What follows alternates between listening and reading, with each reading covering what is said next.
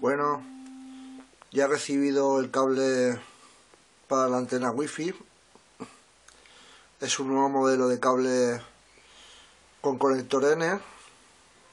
Eh, y el otro conector de, de RPSMA. El cable es el RG8 KSR400 es un cable que es el este es de 3 metros. Es un cable que es el gordo.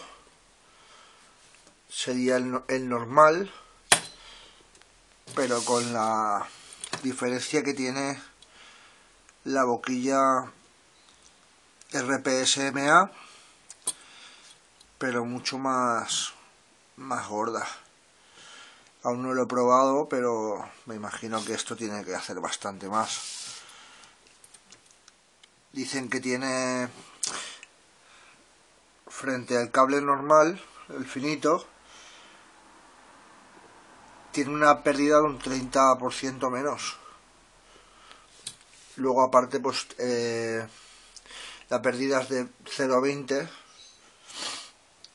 y pues con 3 metros pues tendrá una pérdida 0,60 frente a una pérdida de, de 3 o 4 con el otro. Está muy bien ¿eh? el cable es muy muy gordo muy duro.